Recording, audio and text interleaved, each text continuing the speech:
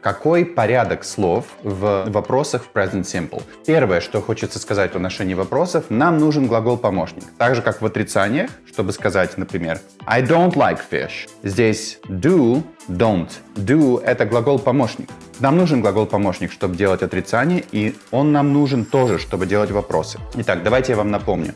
Мы используем глагол-помощник do с местоимениями I, you, we, they. I do, you do, we do, they do. И мы используем does с третьим лицом. He does, she does, it does. Пару примеров перед тем, как я расскажу вам о порядке слов. Where does she work? Где она работает? Does мы использовали, потому что у нас третье лицо. Или Do you live in this city? Ты в этом городе живешь? Do you, потому что you мы поставили do первым. Do you live in this city? Yes, I do. Давайте поговорим теперь о порядке слов. Порядок слов в английском языке во времени present simple, да и, в общем-то, в других временах такой. Давайте назовем его по-английски quasi. Q-W-A-S-I. QW — это question word, то есть вопросительное слово, если оно есть. Например, why, who, when, what color, how much. A — auxiliary verb. По-английски это глагол наш помощник, например, do, does в нашем случае. В прошлом времени это будет did, это может быть также am, или is, или are.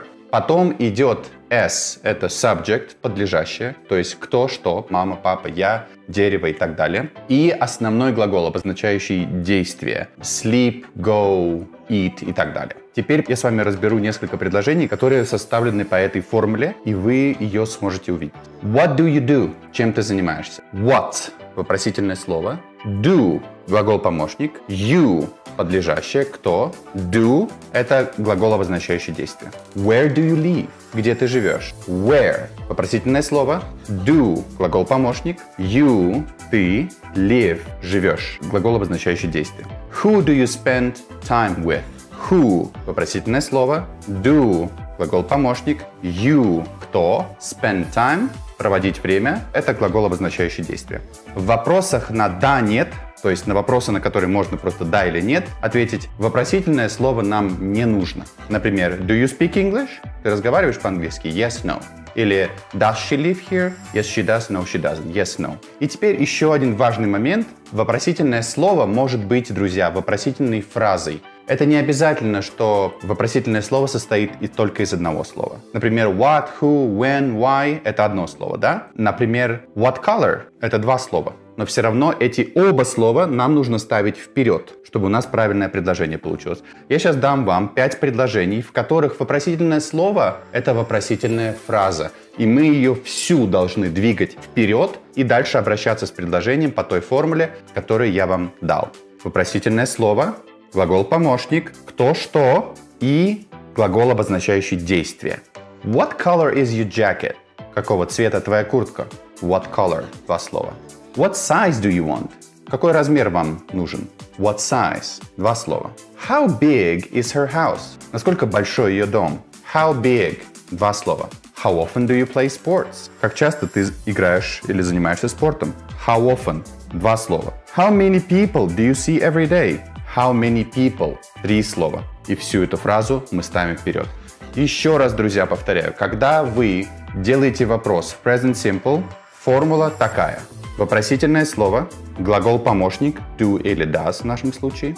Потом, кто делает действие, you, he, she, my mom, my dad.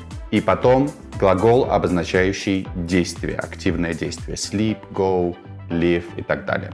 There are two common types of questions in English WH questions and yes no questions. For example, what is your favorite animal is a WH question, and do you like snakes is a yes no question. What are WH questions in English? We use WH words to ask about different types of information. We use who to ask about a person, what to ask about a thing, where to ask about a place, when to ask about time, why to ask about a reason, and how to ask about manner. One common pattern is WH word plus do plus subject plus verb. An example of this question pattern is Where do you live? Note that we use does when the subject is he, she, it, or a singular noun. For example, where do I live? Where does he live? Where does she live? Where does it live? Where do we live? Where do they live? Where does your sister live? Where do your sisters live? Another common question pattern is WH word plus be plus subject. An example of this question pattern is How are you? Note that B changes forms with different subjects. For example, How am I? How is he? How is she? How is it? How are we? How are they? How is your brother? How are your brothers? Let's look at some more examples of WH questions in English. Who do you want to invite to your party? What is her favorite movie? Where are they from?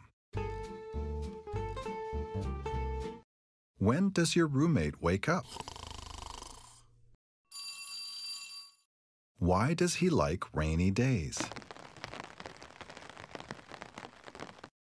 How do the students get to school?